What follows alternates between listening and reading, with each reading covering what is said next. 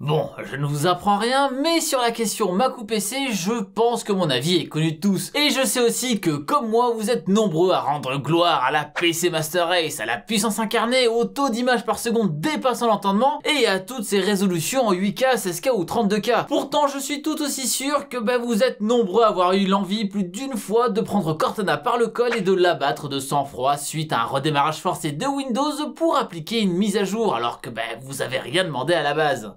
Bah, vous aviez des tas de trucs ouverts et sûrement pas enregistrés. Et à ce moment-là, bah, je pense que la pire des choses, c'est au moment où lorsque vous râlez parce que vous avez perdu des heures de travail, que quelqu'un vienne vous sortir tranquillement, bah c'est ta faute aussi, pourquoi t'as pas enregistré? Bon enfin ok, déjà, bah très bien, mange tes morts, mais surtout, pourquoi Windows force à ce point ses mises à jour? Salut, c'est Léo de la chaîne Techmaker et on va voir pourquoi Windows nous rabâchera sans cesse qu'il veut se mettre à jour, au point de parfois le faire par lui-même sur certains cas critiques. On a déjà tous vu passer hein, ce fameux clip du streamer sur Counter-Strike Global Offensive qui a son PC qui se met à jour en plein jeu. Et donc on va voir ce qui produit ce cas-là. Pour commencer, on peut noter que même si Windows semble être le plus agressif avec ses mises à jour, et eh bien d'autres poussent aussi pas mal le bouchon un petit peu trop loin, comme par exemple Google avec Chrome. Bon, je sais que la plupart des gens normaux éteignent régulièrement leur ordinateur en fermant donc bah, par la même occasion tous les logiciels ouverts, et donc bah, aussi Chrome, et ne se rendent même pas compte que leur navigateur a été mis à jour tellement c'est transparent. Mais si comme moi vous mettez la plupart du temps votre ordinateur en veille avec 4 ou 5 fenêtres de Chrome ayant chacune une bonne trentaine d'onglets ouverts, bah déjà ripé une piste la RAM et ensuite bah, vous avez sûrement été confronté au fameux message vous encourageant fortement à redémarrer le navigateur en question afin d'appliquer la dernière mise à jour qui vient de sortir. Mais donc pourquoi est-ce qu'ils nous imposent tout ça? Qu'est-ce que ça leur apporte à toutes ces marques que nos systèmes soient toujours à jour? C'est vrai qu'on pourrait envie de se dire à quoi bon, il n'y a pas besoin de tout ça, le système fonctionne très bien tel qu'il est maintenant, tout va très bien et puis c'est tout, si ça se trouve la mise à jour va faire n'importe quoi. Et ce raisonnement à la base, bah il est pas forcément débile quand on voit que la plupart des mises à jour n'ont l'air d'apporter aucune fonctionnalité. On a l'impression que si on n'avait pas installé, bah ça aurait été la même chose et pire, bah des fois ça rajoute des problèmes. On se rappelle du cas récent de la suppression des fichiers des utilisateurs ayant fait la dernière mise à jour vers la dernière version de Windows. On est d'accord, ça craint carrément et ça donne limite envie de couper son câble Ethernet pour éviter toute nouvelle mise à jour. Eh bien croyez-le ou non, la raison à tout ça, même si ça nous embête pas mal, c'est bien de nous protéger. Même si on le dirait pas comme ça. Hein. En fait, si la plupart de ces mises à jour semblent ne rien apporter, c'est car visuellement c'est bien le cas. On ne va pas forcément avoir une nouvelle fonctionnalité ou même un nouveau design ou quoi que ce soit de ce genre-là, mais simplement des corrections diverses. Et qui n'ont pas forcément d'influence sur l'aspect visuel du dit programme. Dans certains cas, ça va être des corrections de bugs, mais parfois c'est bien plus important que ça. Et c'est le cas des mises à jour de sécurité. Je vous avais déjà parlé de ce genre de choses dans ma vidéo sur la fin du support de Windows 7. Mais voilà, en gros le principe c'est que les failles de sécurité ne sont bien sûr à la base pas connues par les développeurs. Bah oui, sinon vous vous doutez bien que bah, ces failles là n'existeraient pas, ça aurait absolument aucun sens. Non, ces failles sont en fait découvertes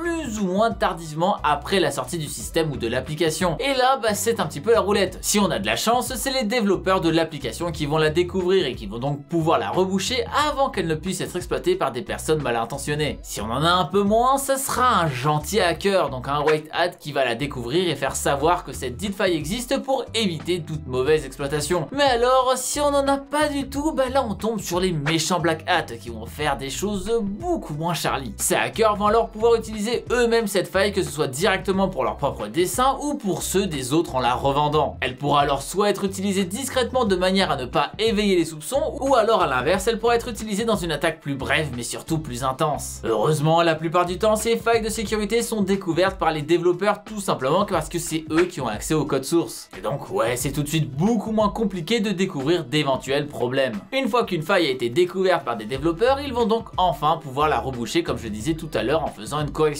et ensuite déployer cette dite correction par l'intermédiaire d'une mise à jour. Et c'est là qu'on se retrouve face à un problème. Imaginez que vous êtes un hacker, vous savez que les développeurs de logiciels que vous ciblez ont trouvé une faille et qu'ils ont bouché cette faille dans une mise à jour. Vous allez alors pouvoir tenter d'analyser cette mise à jour pour comprendre ce qui a été modifié afin de voir comment la faille a été corrigée mais surtout voir comment cette faille était avant d'être rebouchée. Maintenant que vous avez connaissance de cette faille, il va falloir prendre le temps afin de créer de quoi l'exploiter et ça y est, vous êtes maintenant en mesure de vous attaquer à tous ceux qui utilisent le logiciel et qui n'ont pas encore installé la mise à jour corrective. Parce que oui, c'est bien beau d'avoir créé le vaccin, mais si les personnes qui peuvent être infectées ben, ne le prennent pas, bah elles sont toujours vulnérables à l'infection. Et si, bah encore une fois, les gens qui veulent créer l'infection sont au courant de pourquoi l'infection peut être plus importante, ben voilà, vous avez compris un petit peu le délire. C'est pour ça qu'une fois qu'une faille est découverte et corrigée, bah, si elle est découverte des gentils, elle est aussi découverte des méchants. Encore une fois, dans le cas où le correctif est déployé, parce que ben oui, il faut quand même que l'annonce soit faite que ça a été découvert. Avec tout ça, on comprend donc assez bien pourquoi c'est important pour du Microsoft, du Google ou n'importe quel autre développeur de logiciels ou de systèmes d'exploitation que les utilisateurs soient réguliers dans leur mise à jour. Et aussi qu'ils soient rapides à faire la dite mise à jour, parce que bon, aucune de ces entreprises n'a clairement envie de voir le nombre de personnes infectées gonfler après bah du coup un correctif qui a été déployé. Car bon, ça fait évidemment mauvaise presse hein, d'être celui qui laisse passer des attaques, et même dans certains cas, il vaut mieux dire aux gens de lâcher totalement un système d'exploitation qui sera plus mis à jour que d'être la risée à cause d'un système toujours maintenu mais proie à tous les virus possibles parce qu'il n'est pas assez bien mis à jour. C'est donc pour tout ça hein, que les anciennes versions de Windows ont toutes été lâchées avec le 7 en début d'année maintenant et les 8 et 8.1 qui devraient pas non plus tarder à mon humble avis. Parce que oui, elles fonctionnent mais vu que ces failles là peuvent pas être bouchées, du coup c'est compliqué. Pourtant ces sociétés, ben, elles ne forcent pas tout à redémarrer votre ordinateur comme le fait Windows et heureusement parce que parfois c'est quand même bien relou. Et Microsoft est quand même bien conscient hein, que cette politique ne plaît pas vraiment à tout le monde et c'est donc pour ça qu'ils ont mis maintenant un système en place avec un truc un petit peu différent qui pose déjà moins de problèmes même si bah, il n'est pas encore parfait. Déjà le premier point c'est que votre ordinateur n'est maintenant autorisé à redémarrer que s'il se trouve dans les heures durant lesquelles il est programmé pour. En gros on lui dit qu'on travaille imaginons de 8h à 18h alors Windows ne pourra en aucun cas redémarrer durant cette plage horaire. Alors oui je me doute bien que comme moi vous avez essayé de faire les malins et de mettre que bah, cette plage horaire de travail elle va de 5h du matin à 5h du matin le lendemain mais bah malheureusement Windows a imposé une limite donc bah, c'est pas trop possible. Ouais, dommage, faudrait essayer autre chose, ou peut-être pas en fait, hein, si vous avez bien suivi la vidéo. Ensuite, même si ça n'empêche pas d'avoir à redémarrer Windows, et eh bien maintenant ce dernier télécharge à l'avance les mises à jour pour que au moment du redémarrage, bah, il n'y ait plus qu'à les installer, ce qui prend beaucoup moins de temps que s'il fallait en plus tout faire en même temps, que ce soit le téléchargement, etc. Alors oui, vous avez perdu tous vos documents que vous n'avez pas enregistrés, mais au moins vous n'avez pas besoin d'attendre 3 heures pour que ça redémarre. De quoi vous vous plaignez franchement? Je pense que ce changement de politique est là pour deux raisons. Déjà, bah, parce que tout le monde râlait, et au moins maintenant ils peuvent dire, bah regardez, vous pourrez quand même changer quelques trucs, donc euh, voilà. Mais aussi parce que bah, maintenant les gens sont beaucoup plus conscients de la malveillance de certains coins d'internet, ce qui n'était clairement pas le cas de l'époque de Windows XP où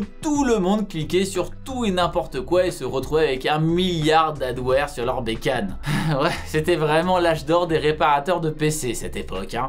Si j'ai pris ces exemples de Windows et de Google Chrome, ce n'est pas pour rien, et c'est pas non plus pour rien que ce sont les deux programmes sur votre ordinateur qui vont le plus vous spammer pour que vous mettiez à jour tout ce délire. La raison est toute simple, ce sont les deux principales cibles des hackers afin de s'infiltrer chez vous, parce que bah, c'est ceux que vous utilisez le plus logiquement, mais qui peuvent aussi fonctionner de pair pour ces plans maléfiques. Car le navigateur sera sûrement le point d'entrée par lequel un virus ou une autre contamination finira sur l'ordinateur, et le système d'exploitation lui-même sera peut-être la cible finale. Prenons un cas où un hacker découvre une faille sur Chrome ou sur n'importe quel autre navigateur, permettant donc de télécharger et d'exécuter un code malveillant sans avoir besoin d'une quelconque autorisation ou validation de la part de l'utilisateur. Tout ça couplé à une faille dans le système d'exploitation permettant de faire un truc pas cool, eh bien c'est le jackpot pour les pirates parce que grâce au navigateur qui est utilisé par une grande partie de la population, ils vont pouvoir toucher énormément de personnes d'un coup en passant par internet et grâce à la faille dans le système, ils vont pouvoir faire de très très gros dégâts. Imaginez que simplement en se rendant sur un site sans cliquer nulle part pour quoi que ce soit, vous vous retrouviez avec un ransomware installé sur votre ordinateur. Ce serait juste catastrophique. Et même si c'est quelque chose qui en principe n'est pas possible, ben on n'appelle pas une faille comme ça pour rien. C'est pourquoi on vous force autant à installer vos mises à jour et c'est aussi pourquoi il est important de le faire et donc d'aussi fermer vos onglets pour rouvrir votre navigateur. De toute façon, aujourd'hui, la plupart des grands navigateurs sont capables de rouvrir les onglets comme s'ils n'avaient finalement jamais été fermés. D'ailleurs, petit raccourci cadeau sur Chrome pour les gens qui sont toujours là sur la vidéo, mais CTRL plus Maj plus T permet d'ouvrir le ou les derniers onglets fermés. Ne me remerciez pas pour ça, hein. Bon, si vous pouvez le faire avec le pouce bleu et l'abonnement quand même. C'est pour toutes ces raisons que je vous ne conseille surtout pas de faire comme certains, c'est-à-dire de désactiver les mises à jour, que ce soit de Windows ou de n'importe quel autre système ou programme. Sans parler du fait que vous passerez par la même occasion à côté des corrections de bugs ou bien des différentes améliorations qui peuvent être apportées par ces mêmes mises à jour. Genre imaginez qu'un jour ils sortent enfin un mode nuit. Bon ça fait 15 ans que je l'attends mais on croise les doigts et ce serait quand même bête de le rater pour pas avoir fait de mise à jour. Et vous alors, est-ce que ça vous est déjà arrivé de perdre un travail en cours à cause d'une mise à jour qu'on vous a forcé à installer? Eh bien dites-moi tout ça dans les commentaires juste en dessous de cette vidéo. En attendant, j'espère que cette dernière vous aura plu. Si c'est le cas, n'oubliez pas comme d'habitude de mon pouce bleu de l'amour qui aide énormément la chaîne et à partager cette vidéo à vos potes qui pensent que désactiver les mises à jour automatiques, que ce soit de n'importe quel programme, eh bien ce soit quelque chose d'intelligent. N'hésitez pas non plus à venir me suivre sur les différents réseaux sociaux de l'internet que sont Twitter et Instagram hein, principalement.